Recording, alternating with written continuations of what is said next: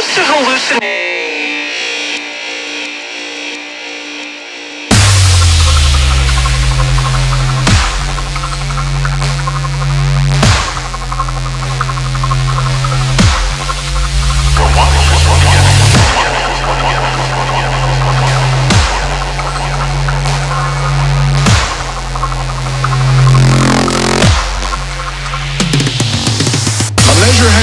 Heading to ballot in Denver could give a new meaning to the nickname Mile High City.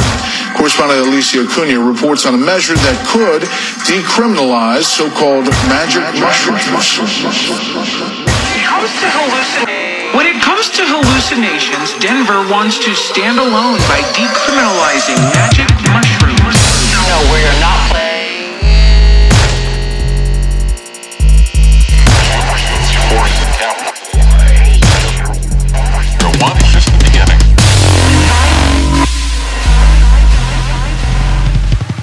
Denver wants to stand alone by decriminalizing magic mushrooms.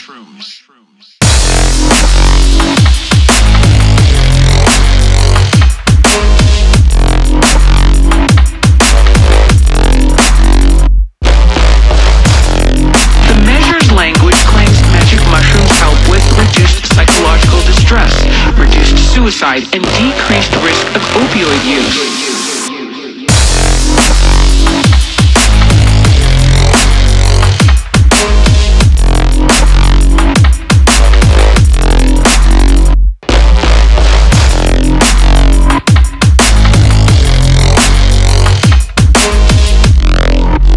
Would then treat these mushrooms as their lowest priority.